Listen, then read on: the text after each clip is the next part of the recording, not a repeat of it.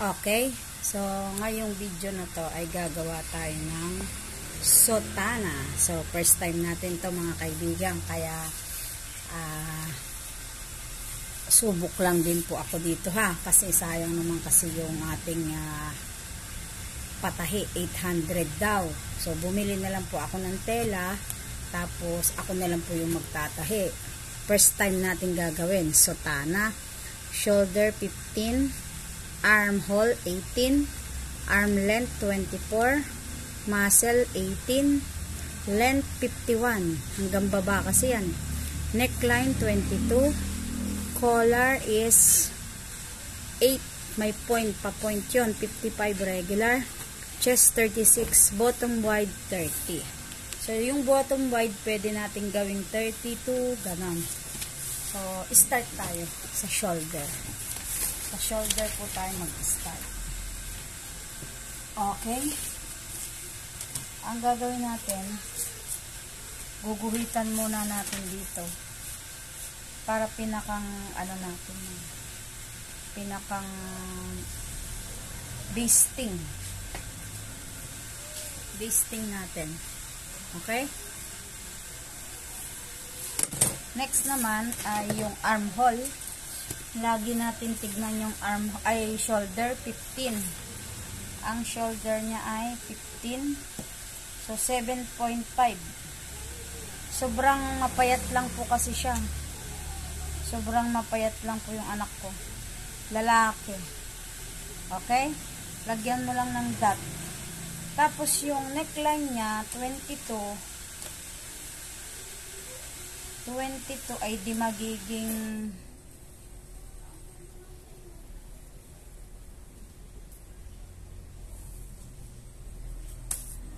11 divide 4 magiging 5.5 i-divide ko sa ano. Pero dito ang gagawin lang muna natin ay 3.5 siguro. Kasi ano siya eh pag 4 ganyan. O kaya 4 na lang muna. Tapos dito sa pababa niya, 4 na lang din. 4. O kaya 3.5 lang. Kasi ang ang wide lang naman dito ang kailangan eh. Tapos, dahil sa panlalaki siya, o yan. Lagyan natin ng ano ha. Tapos dito, ang arm, ang chest niya, ang chest niya is 30 ang chest niya po ay 36. Chest 36 po. So, gagawin natin dito, mag, ano tayo ng, ng ano, ng 9. 9 para sa chest. Simula po dun sa shoulder, papunta sa baba, ay mag, mag ano tayo, magguhit tayo ng 9 inches para sa shoulder to ha? Para makuha natin yung chest niya. Maliit lang kasi yung anak ko mapayat lang na lalaki. So gumuhit tayo dito o kaya 9.5 pala. 9.5 ayan. Ay 9.5 oh. Dito guguhitan natin yan ang ang ano talaga regular na sa ano pagkuha ng chest ay 9.5 babae o lalaki. Yan. Tapos gagawa tayo ng ano kasi gagawa na po tayo ng kanyang uh, armhole 18 so yung 18 nya di-divide natin sa 2 18 divide to 9. So, gagawin natin 9.5 para po may allowance siya. Okay? So, dito, dahil dito yung dahil dito yung point natin, i-ano muna po natin yan. Iguhit muna po natin dito ng diretsyo. Ayan. Diretso tayo, ha? Lalaki kasi siya. Okay? Para makuha natin yung ano, para makuha natin yung yung move niya. Tapos, mag ano ka dito, mag-guhit ng 2 inches para sa front yan, sa curve dito. And then, dahil 9 siya, gagawin na natin 9.5 para may allowance. Itatapat nyo yung ano dito. Tapos, ang gagawin nyo muna dito, bababa kayo ng 1 inch. 1 inch muna yan. 1 inch, baba ng 1 inch. Tapos, guhitan nyo papaganyan. Yung maliit na lang. Maliit na lang, ito. Guhitan nyo, papunta dito sa shoulder. Kikita nyo ba? Paganyan. Pa-slide na po niyan, ha? Medyo pa-slide na po nun.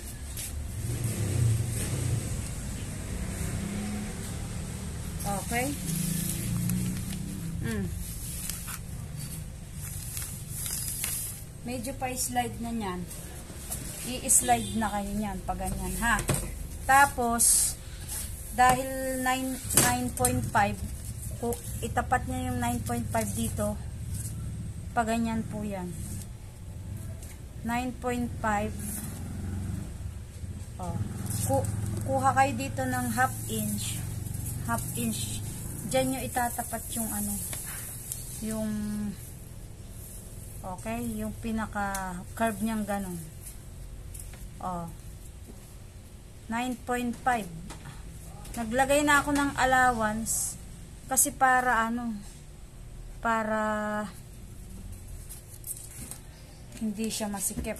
So, ngayon, dito, dahil dyan ay hanap, kuha tayo ng ganito. Di ba dito, half inch. Tapat nyo lang pa ganyan. Oh. meron na, meron tayong ano, bashers. May bashers tayo. First time natin to gagawin suke. Oh ito, pwede kayo gumamit nito. Pero ako, hindi ako gumagamit niyan kasi hindi ako masyado sanay dyan. Dito na lang. Paganyan po ha. O, papasok ka dito. Pasok ka dyan. Paganyan. Ito yung front mo niyan. Ito yung front mo ha. Front.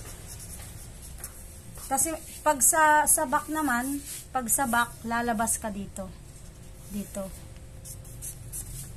Ito yung front and back na natin. Ayan ha. Ganyan lang siya. So dahil dito front tayo, dito na natin ikakat sa ano sa front. Pero pag nagkat tayo ng ng tela dito tayo pag pag back ha. And then ayan, pag ganyan na tayo.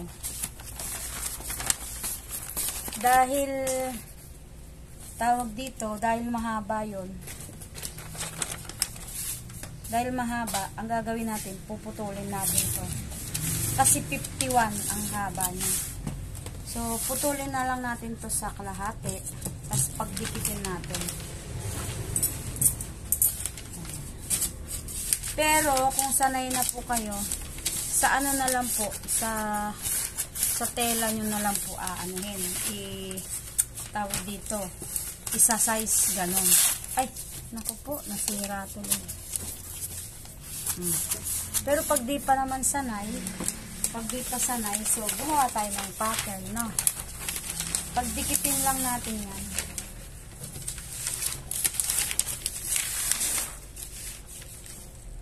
Oh, ganyan lang.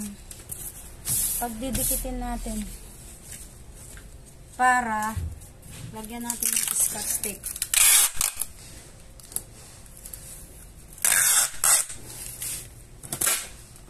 Oh, ganyan lang sukat. Mga guys. Ah, yan. So now, dahil mahaba siya, patong natin dito. Okay?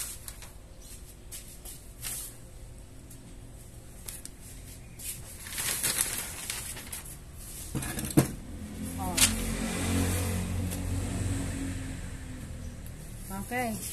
So, ngayon, ang pinaka, ano lang naman yun eh, parang pahaba lang na pag ano. Yeah. Ang pinaka ano lang niya, dito yan. Ang gagawin natin, sukatin muna natin yung length. So, 51 ang length niya. Gawin na natin na 52. Dito tayo mag, dito tayo kukuha sa shoulder, ha? Ito. 52 ang gagawin natin. Kasi 51 siya eh. Para may allowance.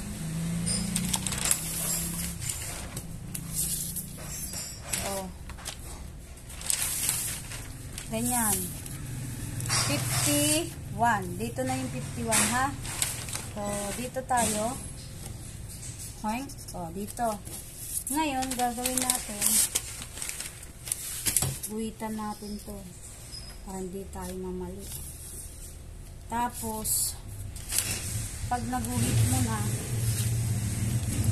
ang ano niya kasi, ang tawag dito, ang ang width niya dito, bottom width niya is 30. Ito, ang bottom width niya 30.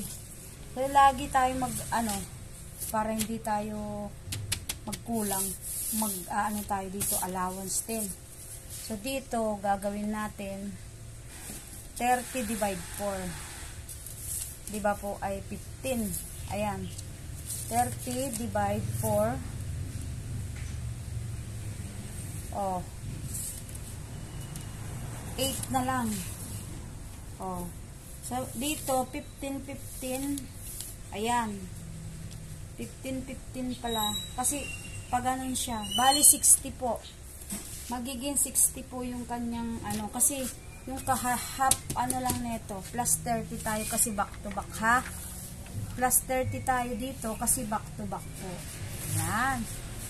Yung front lang kasi yung inano ko dito. So, 30 plus 30, 15. O, oh, yan. So, ang gagawin natin, gagawin natin 32, 16, 16. Para sigurado na ha. 16, 16. Ayan. Suta na kasi to. Tapos, guhit uli. Dito yan. Ngayon, gagawin na lang natin dahil okay na siya kukuhanin natin to yung pa ganyan siya paano siya? Pa pa slide po siyang pa ganun slide po siya. Kasi payat lang siya eh. Ngayon ito gagawin natin pa ganyan. Toink. Oh pa slide siya. Parang A-line nga siya eh.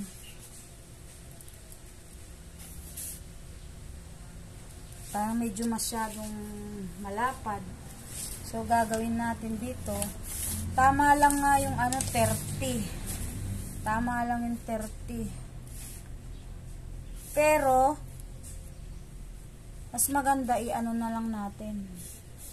Ilapad na lang natin para hindi tayo magkukulang.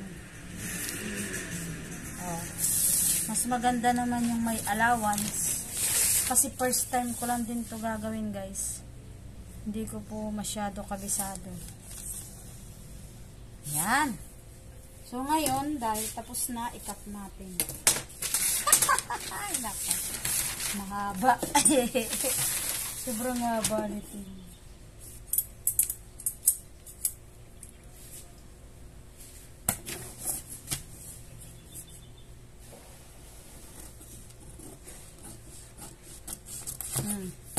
So, tana. Dito tayo magkakat sa unang ano ha, sa front. Kasi pag kinat natin yan sa ano, sa anong tawag doon? Sa back, sa tela na lang, no?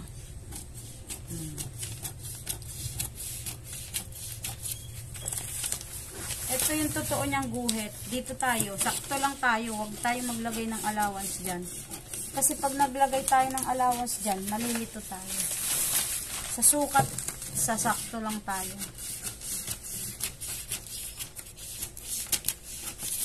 Mm. Ah, sige. Ano yan?